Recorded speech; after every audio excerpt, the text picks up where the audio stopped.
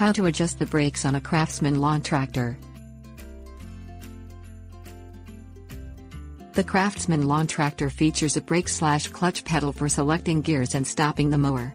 The brake slash clutch pedal is activated by the operator and pushes the brake arm to engage the brake rotor located in the transmission.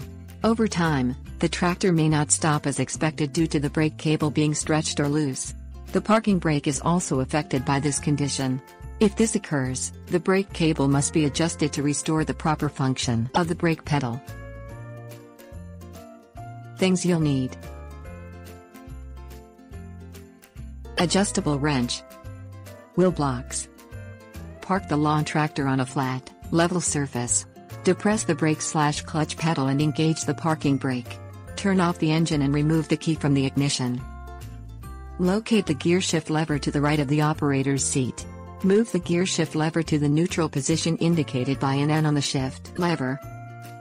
Locate the brake cable and operating arm near the right rear wheel. Locate the spring attachment that connects the brake cable to the operating arm. Measure the distance between the brake cable spring and the operating arm. If the distance is greater than 1.5 inches, the cable will need to be adjusted. Locate the jam nut holding the adjustment nut in place. Loosen the jam nut, using an adjustable wrench. Rotate the adjustment nut with an adjustable wrench until the distance between the brake cable spring and operating arm is 1.5 inches. Tighten the jam nut, using an adjustable wrench until the nut is snug against the adjustment nut. Test the lawn tractor brakes to make sure they are operating properly. If the brakes are still not operating properly, you may need to replace the brake rotor.